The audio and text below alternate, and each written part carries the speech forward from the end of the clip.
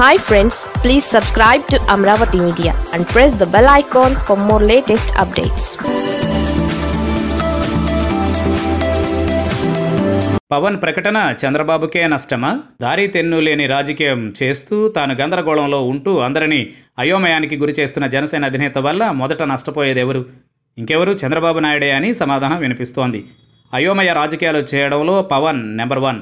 చంద్రబాబు చేస్తున్న planning work out అంతా పవన్ కారణంగా దెబ్బతినేయడం ఖాయమని తమ్ముళ్ళే బాధపడుతున్నారు. రాజకీయాలలో ఉండాలంటే ఫుల్ టైం పని చేయాలి కానీ పార్ట్ టైంగా పనిచేస్తానంటే సాధ్యం కాదని పవన్ ఎప్పటికీ తెలుసుకుంటారు. పవన్ ఏమో గాలి వాటంతో పనిచేసే మనిషి. ఇదే సమయంలో చంద్రబాబు ఏమో ఒక టార్గెట్ పెట్టుకుని పనిచేసే నేత. వచ్చే ఎన్నికలలో ఎలాగైనా గెలవాలన్నదే చంద్రబాబు టార్గెట్. ఒకవేళ జగన్మోహన్ రెడ్డి రెండవసారి కూడా గెలిస్తే టీడీపీ పరిస్థితి ఏంటో ఎవరికి వాళ్ళుగా ఊహించుకోవాల్సిందే. ఇదే జరిగితే టీడీపీ చంద్రబాబు కోలుకునే అవకాశాలు లేవు. ఇదే సమయంలో పవన్కు వచ్చే నష్టమేమీ లేదు. ఎంచక్క సినిమా షూటింగ్లతో బిజీ అయిపోతారు. కానీ టీడీపీ సంగతి అలా కాదు. రాజకీయాల్లోనే ఉండాలంటే ఖచ్చితంగా యాక్టివ్గా ఉండాల్సిందే. యాక్టివ్గా ఉంటే రాజకీయంగా సమస్యలు తప్పవు. ఇవన్నీ చంద్రబాబుకు ఎదురయ్యే సమస్యలే కానీ పవన్కు పోయేదేమీ లేదు.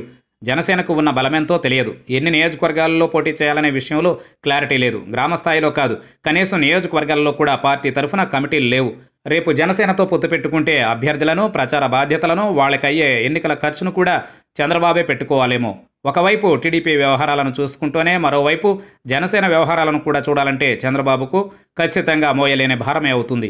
సీట్లు ప్రచారం ఖర్చులు జనసేనతోనే ఆగదు. వామపక్షాలు కూడా ఉంటాయి. కాబట్టి పొత్తులు లేకుండా ఒంటరి పోటీ చేయాలని తమ్ముళ్ళు చాలా మంది పట్టుబడుతున్నారు. జనసేన వామపక్షాలకు ఇచ్చే సీట్లన్నీ వృధాగానే పోతాయనేది తమ్ముళ్ళ బాధ. మరి చివరకు చంద్రబాబు ఏం చేస్తారో చూడాల్సిందే.